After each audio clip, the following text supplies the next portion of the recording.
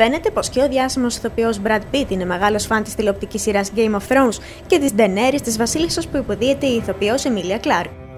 Ο Χολιγουντιανός Στάρ ήταν έτοιμος να πληρώσει χρυσάφι προκειμένου να έχει την ευκαιρία να παρακολουθήσει ένα επεισόδιο της τηλεοπτικής σειράς παρέα με την λαμπερή πρωταγωνίστρια Emilia Clarke.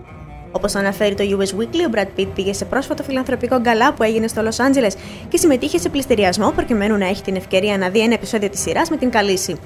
Μάλιστα ήταν διατεθειμένο να πληρώσει 120.000 δολάρια για αυτή την εμπειρία, αλλά τελικά έχασε την ευκαιρία του αφού κάποιος άλλος φαν της σειράς πλήρωσε 160.000 δολάρια.